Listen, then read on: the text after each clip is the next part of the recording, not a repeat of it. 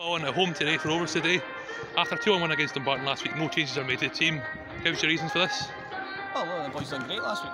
So, no injuries, um, and it's given us the opportunity to play first 11, second time running for first time in a long time. So, um, delighted everybody's fit.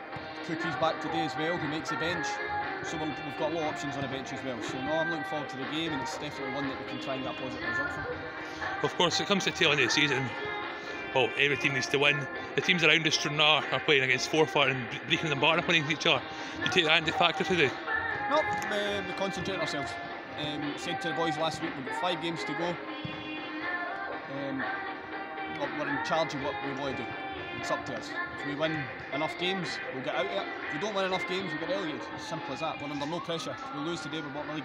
If we win today, we could still be bottom league. So listen, we're under no pressure today other than a performance.